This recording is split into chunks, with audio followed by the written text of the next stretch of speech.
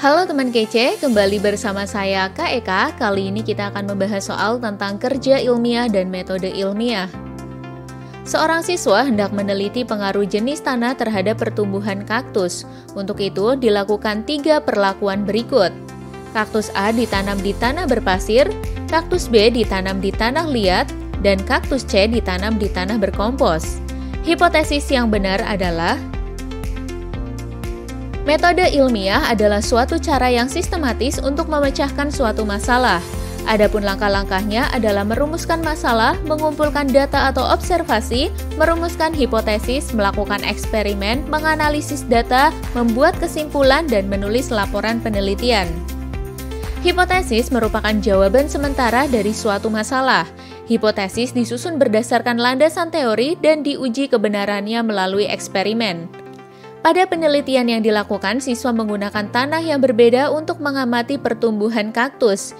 Jenis tanah yang berbeda memiliki struktur dan komponen yang berbeda.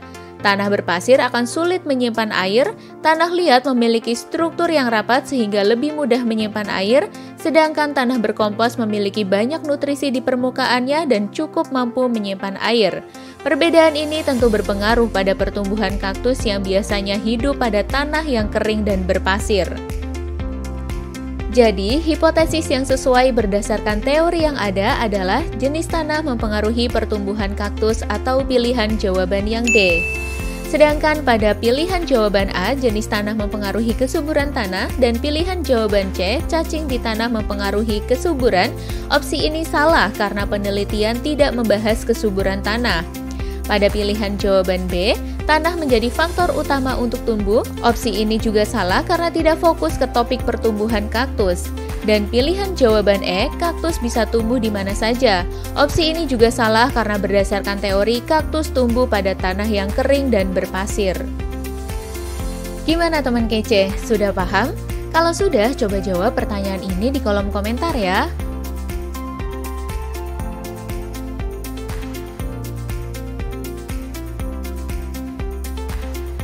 Buat kalian yang mau latihan soal biologi lebih banyak lagi, bisa kunjungi website kejarcita.id atau download aplikasinya di Play Store.